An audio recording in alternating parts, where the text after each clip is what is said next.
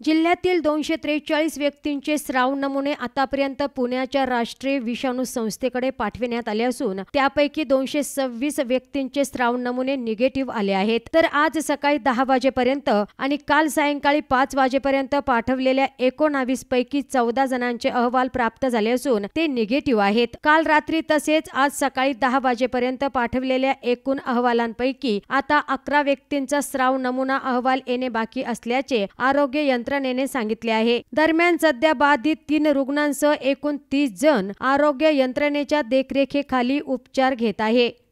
Bureau report news today twenty four Ahmednagar. राज्यातल्या आणि देशातल्या ताज्या घडामोडींसाठी आजच आमच्या यूट्यूब चॅनलला सबस्क्राईब करा आणि बेल आयकॉनला क्लिक करा आणि बघत रहा ताज्या घडामोडी.